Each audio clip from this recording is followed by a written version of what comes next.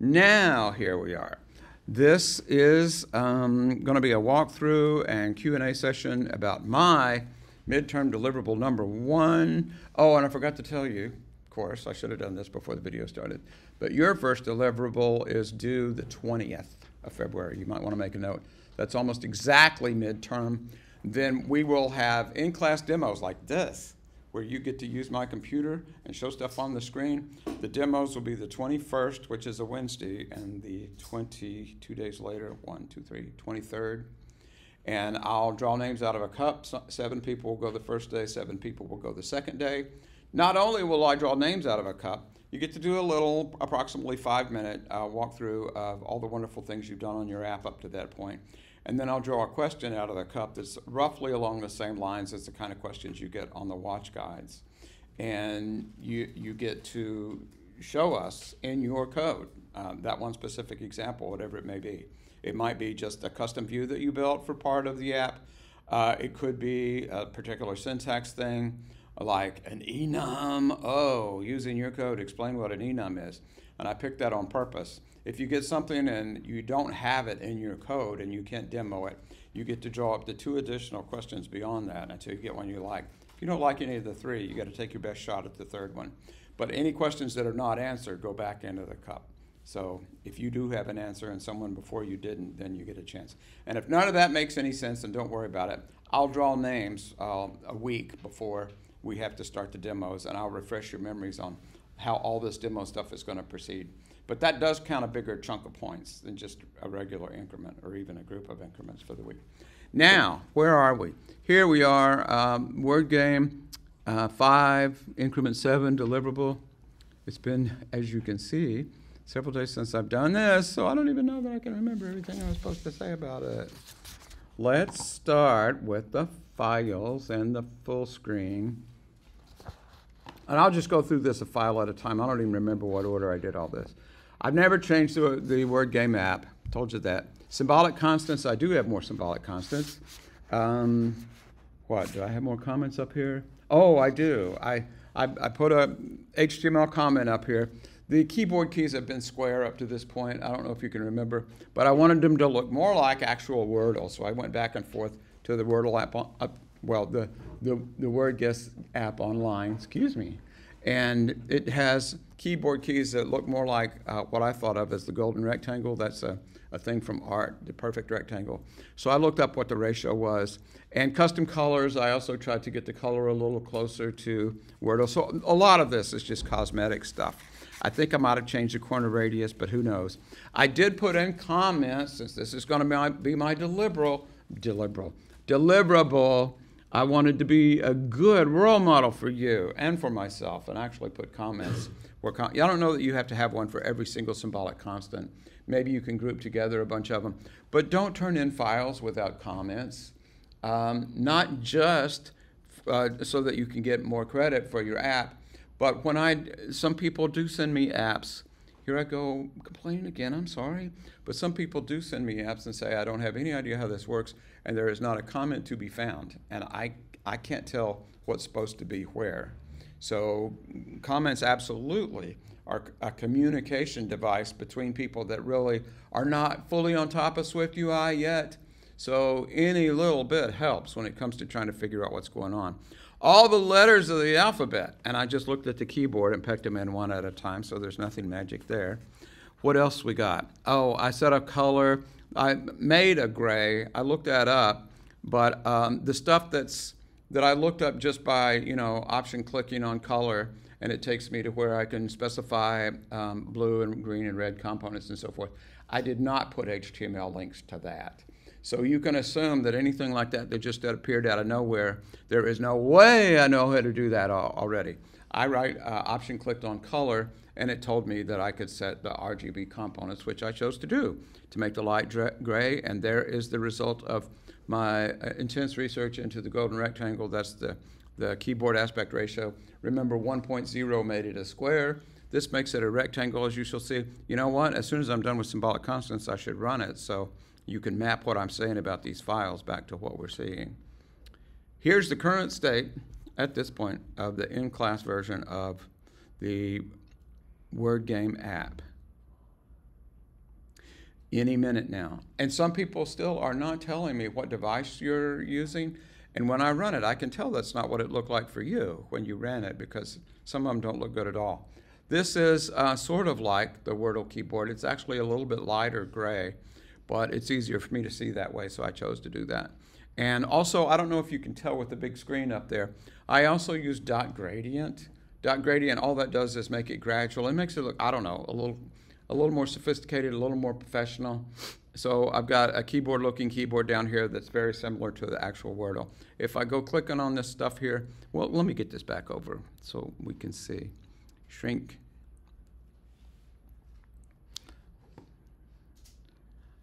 I, am still doing um, console messages out to Wazoo because that's how I keep up with what's going on. But I'm, I'm clicking stuff here, and you can tell that even though it's uh, registering what row number I'm on, it says, yikes, wrong row, can't, uh, can't set a letter.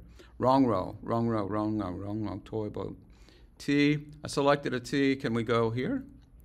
No, how about here? Now mine is upside down from yours. Yours should enable the bottom row, and mine enables the top row. did I say T? I didn't mean T. I can change it, and I want an animal named Omo. So I click OMO. Now, all of a sudden, this row, this is, remember, uh, related to your increment 7, all of a sudden this row is in, in disabled. So if I wanted to say OMP, I'm clicking on P and it's too late. But I can set P on the second row and so on. So the second row was enabled. Now I click on H, I guess it is, and I can't set any of these to an H. I can't set any of these to an H, but I can set that to an H. Does all this ring true? Do you recognize all that stuff? That's what this version of the app does. And if you have questions about this, how I did it or what's going on there, that's what I meant by it'd be great to ask those questions as we're going through this, because that's what this code does right here. After symbolic, any question about the symbolic constants file? I do recommend having one. I don't require it, but I do recommend having a symbolic constants file. It's just a, a nice sort of clearinghouse to put all the stuff that um, you want to be able to change in one fell swoop throughout the project. Who's next? After that comes, I guess, the model proper. Here's the model proper. What have I got? I forgot. I, we already did that, making a rectangle square. How to change the font size, already did that. Do we do this? Current row number no longer, oh, I, I think this is new. The current row number, I think I started that off in the older versions of the app as an optional, except the current row number is always going to start with zero. So that was, uh, maybe that was an interesting illustration of using optionals at the beginning, but it's outlived its usefulness.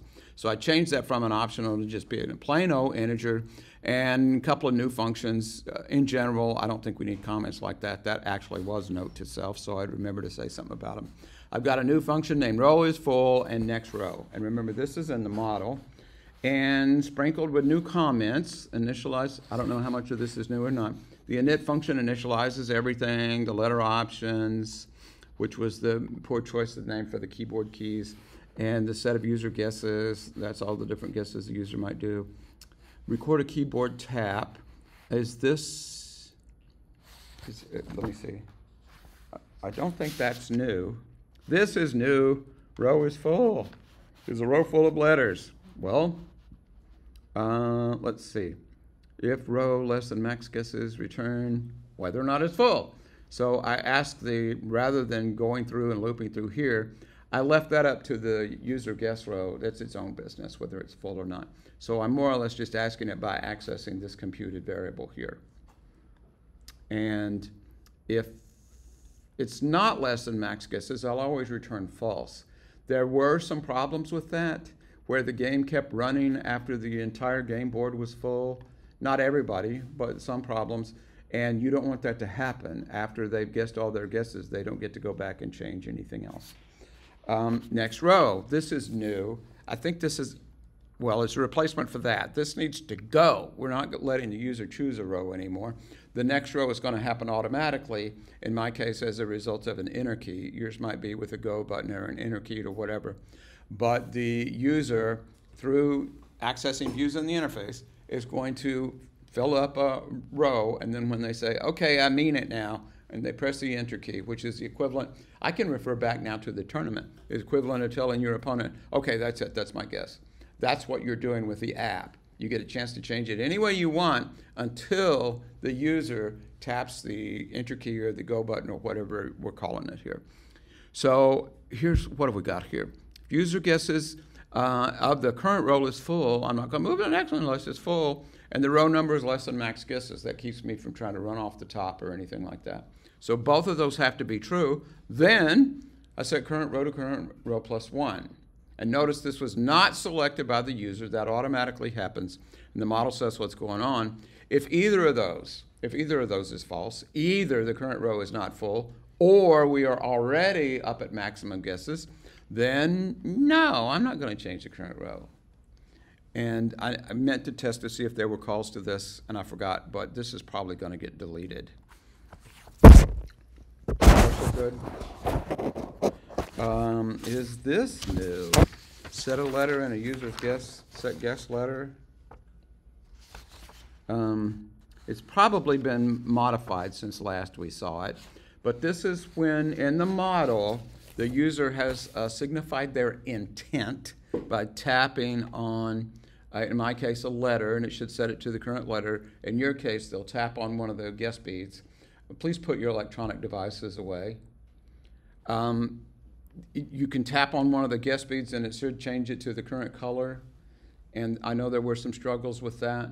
I hope those have been cleared up. But uh, the model is trying to set letter in a particular guess. If the row that they're clicked on, this is actually checking to see. Now, the set guess letter, let me back up.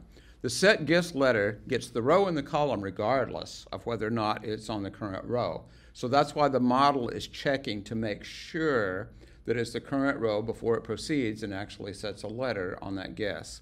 If we are, if the user did tap on the current row and it's a valid, well, of course it's a valid column, there's not much choice there then it sets uh, user guesses guess item to the current letter. And I don't know how your memory's prob- probably better than mine, but this is the entire set, an array of all of the user guesses, and we're on a particular one at this time, the row. And if it's full, no, look at this. If the row is full, it goes to the next row.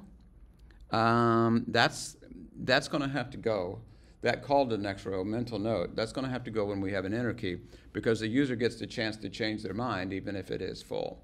But for now, but for now, as of increment seven, all it had to do was detect if the row was full and then automatically go to the next row. And if they clicked on anything else, then yikes, uh, wrong row can't set a letter. This is new. Question on that? And I'm sorry just to dump all this stuff on you that's new, but it's maybe it's better than suffering through my insufferable typing. Letter option, that's not new. Identifiable for guests, that's, is that, is that new?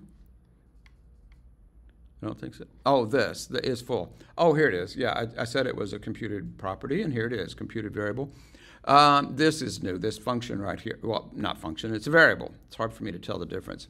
But is full is Boolean. It just loops through with a standard for loop. If it finds nil anywhere, it immediately returns false. There's no reason to check all of them. If it makes it through the entire letter guess count, which in my case is three, in your case it'd be four, if it gets through the whole thing and doesn't find an empty one, then it'll return true because they're all full. That was new. Any question on that? Zipping right along. That was the model. Next up, oh boy, content view. I do all mine, by the way. I work on mine in the order um, model, view, content view, because that way I can remember which ones I've worked on. I mean, you don't have to do anything like that, but that's the name of the design pattern, MVVM, and for no better reason than that. Whoa, way up here at the top. What do we got? Oh, I've got a new comment here. Oh! Someone said this last time. I believe, Ms. Edwards, I think you did that. I said, all you got to do is put in self to get rid of that the stupid error message in the for each. Remember, for each was complaining because I didn't have a constant range. It doesn't matter whether you remember or not. But if you put dot self in there for no good reason, then it will stop it. And I found that on Hacking with Swift. Of course, that's a good place to find stuff. But I didn't, I didn't intentionally search Hacking with Swift. I just Googled it. I'll show it to you when we get down there. There's nothing new to see here. The, the view model is an observed object. Um, some new comments to try to make it look, oh, I forgot, that's supposed to be a symbolic constant. Okay, that gives you something easy to criticize on my first deliverable. Dr. England, put your money where your mouth is. Use symbolic constants. You could print out a copy and then write it on red. Symbolic constant. That'll be payback. Um, that for each loops through the array. There's nothing. Oh, this, this is also horrible. My goodness. I'm, I should hide my face in shame, except I won't be able to see the screen. When I made the full keyboard, uh, I did it one row at a time. And the only thing that's different among the rows, look at this. Here's the top row. Here's the middle row. What's different? Do you like number one, number two, or maybe number three? When you have duplicate code like that, you should either split it off and make it a separate structure or split it off and make it a function. And I intend to do that, but I ran out of clock time as well. So I just left it uh, redundant like this. The only thing different is this one goes in a loop from 0 to 10. This one goes from 10 to 19. And this one goes from 19 to 26. Three separate H stacks. And for, uh, to refresh your memory, that's three separate H stacks down here. It's just one array of letters written as strings. And they, I split them up. Otherwise, it tried to squeeze all letters of the alphabet into one row. Of course it did. So that's what that's all about, except that's just ugly code to have so much code. It looks more complicated, and I guess people that aren't as enlightened as we are might be impressed by it, but I'm not impressed by it myself because um, that needs to be split off. Well, how many times am I going to say split off? Oh, the fixed size thing, too. Um, I'm having a flashback of awful trial and error. That was another um, option click when, when I was having trouble getting things to look correct on the screen. One row would be bigger. What it did was, if I can remember correctly, the, the, the um, keyboard rows that had more letters, those were smaller. And then the one beneath it that had um, fewer letters, they were bigger. We don't want that. We want, we, we want all the keys on the keyboard to be the same size. So I went back, and this works. You can't ask me why. Well, you can ask me why, but I'll tell you, have to tell you I don't know. All I know is it does work, and that's the result of yet more trial and error. Do not underestimate the power of trial and error, especially in the view. So far, so good. Um, I've got what else? This is the view. Letter guess view. Letter guess view. There's a letter in this position. I've got something circled here, but I don't know whether it changed. No letter here yet? No? I, I think I went past it already. This, letter option view, also known as a keyboard key. Oh, uh, you might not have noticed, but the keys originally had strokes around them. They were all outlined in black, and they're not anymore. Now they're not outlined with anything at all. That's why it's zero for the stroke unless it is selected. If it's selected, then it's, um, it's got a highlight around it. And I'll demonstrate that, going back to the code. That, I took the black outline away from all the keys. So now if I click on one such as the H, for example, it outlines it in black or the R. So there's only one selected at one time. That's the current letter that will go in the square. Okay? I'm re refreshing my own memory as I look through this. Um, I think we're getting close. Where is it? Where is it? Where is it? No, not yet. Oh, this is whether or not there's a letter in the guess view. Come on. Oh, here it is. This is where I was getting the, the warning, the ugly warning. For each, zero dot dot, letter guess count. It didn't like my symbolic constant. Letter guess count was three. This for absolutely no apparent reason, to me at least. If you put comma, id colon slash dot self, it suppresses that warning. And I'm trying to be a good little student of Swift UI according to the Stanford videos. And you might recall he wove in there, get rid of all the warnings as well. not just the errors. Find out what's underneath the warning and get rid of it. Down the line, I think he mentions that again in later videos and said, you know, as you develop your app, as you move further, warnings tend to turn into errors. And I think that's probably true. So I don't know if this particular one would have turned into a flat out error, but I still want to get rid of the warning. And bada boom, bada bing, we are at the bottom of the view.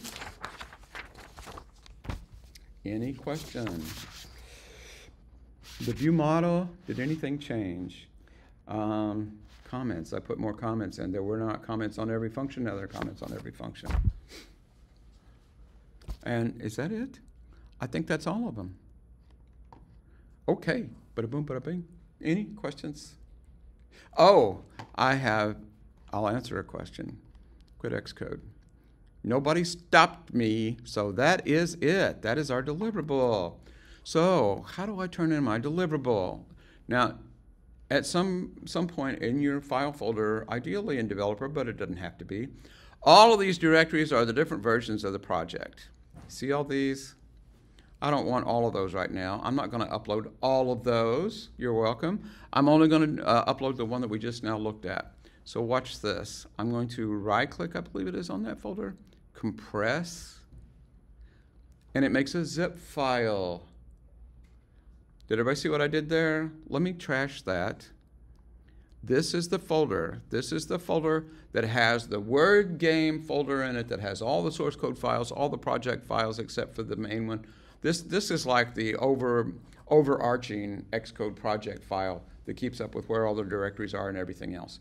So we need this whole package. Don't right click on Word game and zip that and send it. Don't copy Xcode project into Word game and zip that and send it. At the top level, right click, compress, it makes a zip folder. This is what you will send to Dr. England as an attachment to an email. Does anybody have a question about that step? And this is exactly what I will upload to Canvas, but I'm not in the mood to jump through all the hoops to do that right this minute, so I ain't gonna. I think ain't gonna is a great phrase to end the video on, but I've kept talking, so maybe I, Gotta say it again. I, I will. Does anybody want to see this demo again? Well, you can ask, but I ain't gonna.